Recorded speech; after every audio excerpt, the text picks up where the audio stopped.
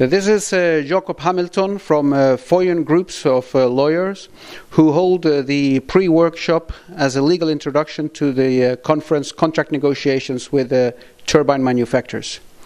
First question For whom is this pre workshop made?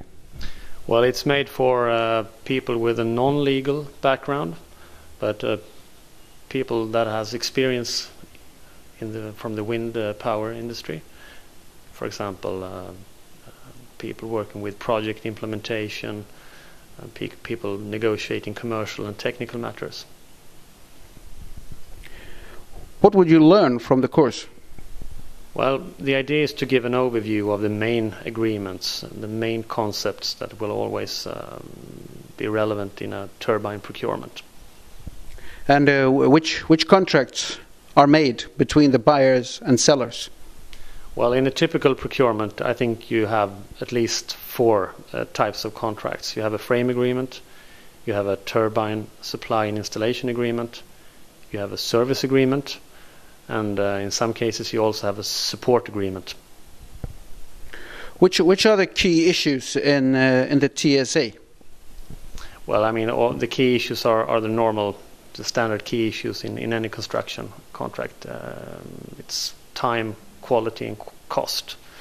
Uh, and that's what most of the negotiations um, will, will deal with. Well, from your experiences in uh, helping owners mainly to negotiate these contracts, if you would choose uh, three specific issues within the TSA, where would you recommend an owner to be more most persistent? I think it's very important to uh, to have a clear view on the testing uh, re regime, on the requirements relating to, to tests.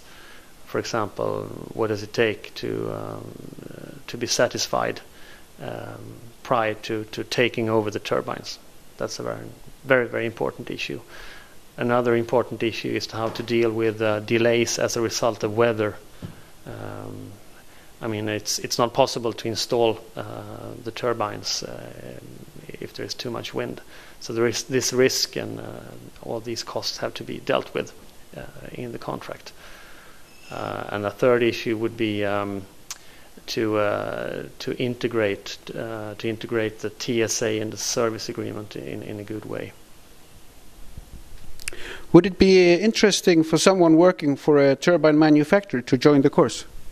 Yeah, I hope so. Uh, I try to um, to uh, to take different perspectives uh, on the issues that we we uh, that we uh, deal with during the day.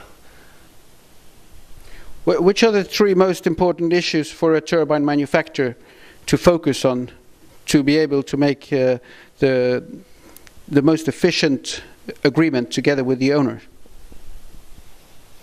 I think it's important to ask uh, a lot of questions to clarify, uh, to help the owner clarify uh, the owner's requirements. This is necessary sometimes. I also th think it's very important to uh, to understand that the market has changed. So it's not possible today to to come with um, uh, the the standard supplier friendly contracts that were more common a few years uh, back.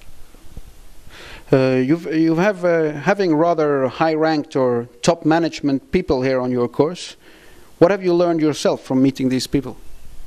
I learned a lot. I mean, one thing is to know the legal issues, the key legal issues, but the practical implications uh, are always um, the, the, the really important part to understand. And you, I mean, every time you lecture for for really experienced people, you you learn a lot.